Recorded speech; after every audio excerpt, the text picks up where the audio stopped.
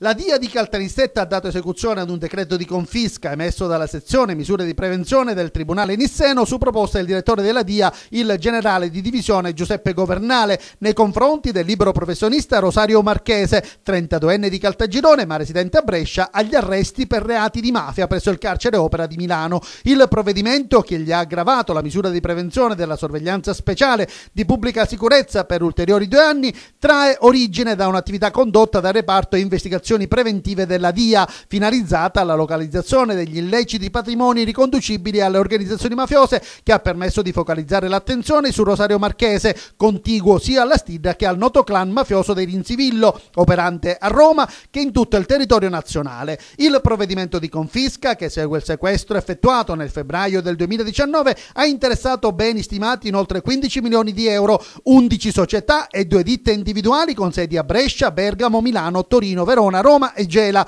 che operano nei settori della consulenza amministrativa, finanziaria e aziendale, della sponsorizzazione di eventi e del marketing sportivo, del noleggio di autovetture e mezzi di trasporto marittimi ed aerei, del commercio all'ingrosso e al dettaglio di prodotti petroliferi, di studi medici specialistici, della fabbricazione di apparecchiature per illuminazione e della gestione di bar, un'opera pittorica di assoluto valore artistico risalente al XVII secolo per un valore di circa 6 milioni di euro, una holding con uffici a Milano in via Monte Napoleone, una società di noleggio che gestisce presso la struttura aeroportuale del Catullo di Verona una flotta di vetture di lusso, una società con sede a Roma che sponsorizza e partecipa a prestigiosi campionati monomarca di auto da competizione, 5 beni immobili e 50 rapporti bancari. Gli accertamenti condotti nel 2018 dal reparto della DIA e gli ulteriori riscontri effettuati dal centro operativo di Caltanissetta hanno consentito di mettere in evidenza il suo repentino incremento di ricchezza, ritenuto ritenuto complessivamente anomalo rispetto alla dichiarata posizione reddituale risultata sproporzionata